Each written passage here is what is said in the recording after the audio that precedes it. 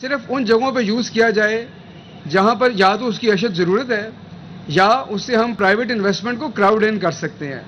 यानी कि हम जहाँ कुछ पैसे डालेंगे, वहाँ पे हमारे पीछे निजी सरमायाकार आएँगे और वो सरमायाकारी करेंगे।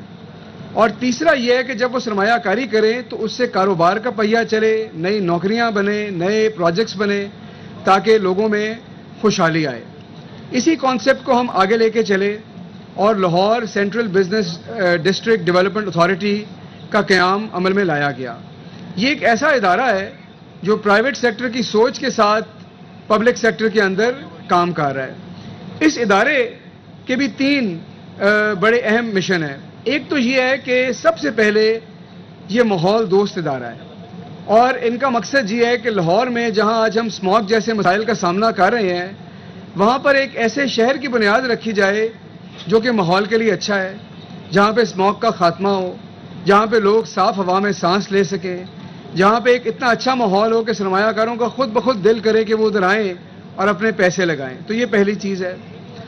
दूसरा मकसद है अर्बन रीजनरेशन या शहर की तख्लीक नौ। इसका मतलब क्या है? इसका मतलब ये है कि पिछले कई सालों के अंदर ना तो हमने लैंड यूज़ को इन्फोर्स किया, ना ही हमने किसी किस्म की प्लानिंग की, और शहर को हमने बेहंगम तौर पे फैलने दिया। और आज आप एक साइड पे कसूर से दूसरी साइड पे गुजरा वाला तक आप देखते हैं कि शहर का फैलाव जो है, जिसको अर्बन स्प्रॉल कहा जाता है, वो ख़त्म ही होने को नहीं आता।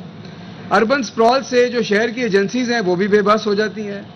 वो आखिर शहरियों को सहूलियात कहाँ से कहाँ तक दें? क्योंकि शहर का तो ख़त्म होने का नाम ही नहीं लेता। तो उसको ख़त्म करने के लिए अर्बन रीजनरेशन की बुनियाद रखी गई। और वर्टिकल ग्रोथ यानी कि हमें अपने शहरों में अब ऊपर जाने की ज़रूरत है, बाहर जाने की ज़रूरत नहीं।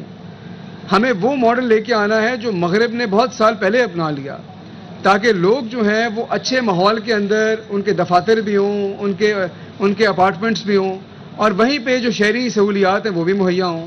तो वर्टिकल ग्रोथ अर्बन रीजनरेशन और इको फ्रेंडली सिटी की बुनियाद के ऊपर सीबीडी ने अपने काम का आगाज़ किया और एक मास्टर प्लान दिया। ये जो जगह थी इसको सिविल एविएशन ने सेफ्टी की वजह से बंद कर दिया हुआ था और ये बंद पड़ी थी। तो जब इस जगह का आगाज़ हुआ तो उन्होंने एक मास्टर प्लान रखा और आज आप जहाँ बैठे हैं, ये उस मास्टर प्लान का पहला जुज्व है और इसका नाम है सीबीडी प्राइम और यहाँ पर उन्होंने पंजाब की तारीख की हमने सबसे बड़ी ऑप्शन की और 40 अरब रुपया आज की डेट में ये जनरेट कर चुके हैं। इस प्रोजेक्ट की आगाज़ सिर्फ़ और सिर्फ़ 10 करोड़ रुपए से रखी गई। और उस 10 करोड़ रुपए के बाद 40 अरब रुपया खुद ब खुद सीबीडी ने जनरेट किया। और इन मार्च 2022 तक ये 100 अरब जनरेट कर लेंगे और 100 अरब की फिगर टच करने जा रहे हैं। मार्च 2023 तक यही 100 अरब 200 अरब में तब्दील हो जाएगा।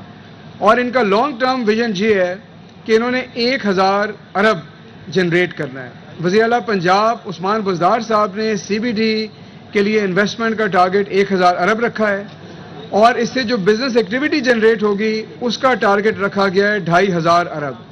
तो ये वो मंसूबे हैं जो पंजाब की तारीख में और लाहौर की तारीख में इनकलाबी मंसूबे हैं और ये लाहौर का जोग्राफिया हमेशा हमेशा के लिए तब्दील कर देंगे और शहर के वस्त में एक ऐसे नए शहर की बुनियाद रखेंगे जिसको लाहौर के शहरी याद रखेंगे। सीबीडी प्राइम के बाद जो अगला अफ्ताह होने जा रहा है अगले कुछ रोज़ में वो लाहौर डाउनटाउन का है। और पाकिस्तान में ये एक नया कॉन्सेप्ट है। पाकिस्तान में आज तक कोई प्लान डाउनटाउन नहीं था। और लाहौर की तारीख में ये पहला डाउनटाउन होगा जिसकी बुनियाद सीबीडी रखने जा रही है। और उसके बाद हमारा डिजिटल सिटी है और फिर रेजिडेंशियल सिटी है। तो ये पूरा मास्टर प्लान जो है, ये मुख्तलिफ़ मरलों में रोल आउट किया जाएगा। और इसमें प्राइवेट सरमायाकार भी आएँगे इन्वेस्टर्स भी आएँगे।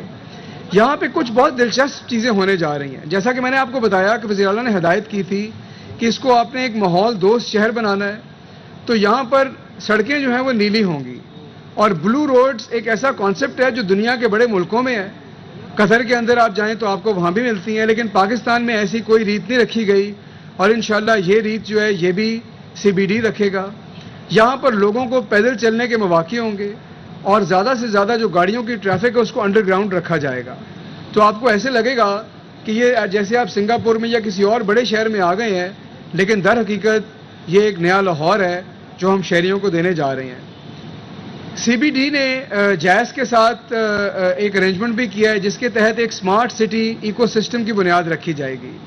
यहाँ पे इंटरनेट ऑफ़ थिंग्स ये वो कॉन्सेप्ट हैं जो दुनिया में आगे जा रहे हैं और हम लाहौर में उसकी बुनियाद रखने जा रहे हैं, जहाँ पर मुख्तलिफ़ डिवाइसेस एक दूसरे से आपस में बात करेंगे। स्मार्ट मीटर्स होंगे सोलर डिवाइसेस होंगे और इनका अपना कैप्टिव पावर जनरेशन है। जिससे अनइंटरप्टेड पावर सप्लाई होगी तो उसकी बुनियाद भी इधर रखी जाएगी।